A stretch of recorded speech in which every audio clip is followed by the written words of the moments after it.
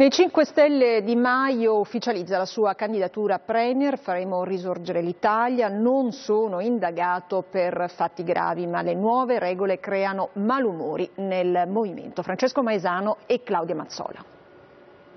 Oggi ho accettato la mia candidatura Premier per il Movimento, andiamo a Palazzo Chigi e facciamo risorgere l'Italia. Luigi Di Maio rende ufficiale quello che già da mesi era un dato assodato tra i 5 Stelle. È in corsa per essere il nome da proporre per Palazzo Chigi alle prossime elezioni e diventare dunque, con le nuove regole annunciate ieri da Grillo, il nuovo capo politico del Movimento. Con lui i vertici 5 Stelle che nel 2013 gli affidarono ad appena 26 anni la vicepresidenza della Camera che spettava al gruppo. È normale che il futuro Premier del Movimento Movimento 5 Stelle sia anche il capo della forza politica. Ci prepariamo per andare al governo con un programma, una squadra e lui ne sarà responsabile e la dirigerà. Ciononostante Beppe Grillo rimane sempre il garante del Movimento 5 Stelle. Di Maio ricorda i dieci anni di militanza nel movimento e cita Gandhi, prima ti ignorano, poi ti deridono, poi ti combattono, poi vinci e a chi ne critica la candidatura per le due querele a suo carico risponde chi è indagato per reati gravi non è candidabile, se poi si è indagati come atto dovuto è evidente a chiunque che la cosa cambia. E sul sulle regole. Il blog di Grillo torna all'attacco della stampa. Se anche gli altri partiti adottassero il nostro regolamento, non candiderebbero più nessuno.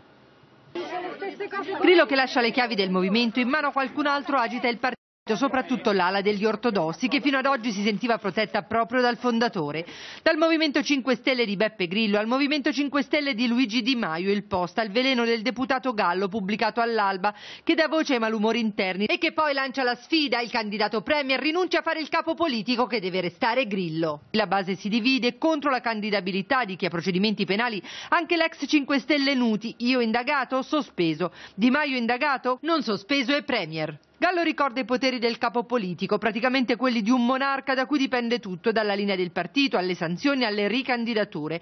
Tema spinoso alla vigilia delle politiche, i duri e puri lavorano per cercare un nome che al momento non c'è. Fico, Morre e Sibilia si tirano indietro, c'è il timore ad esporsi. La disponibilità a concorrere equivale a sfidare il capo politico che verrà, scelta che potrebbe pesare sul futuro del competitor. Io ho dato fiducia a Beppe, commenta un parlamentare, ma non ho nessuna intenzione di darla a Luigi. Presto per parlare di scissioni aspettiamo di vedere cosa succederà in Sicilia, ragionano i dissidenti. Qualora le amministrative si rivelassero un flop per il movimento, allora bisognerà aprire una riflessione.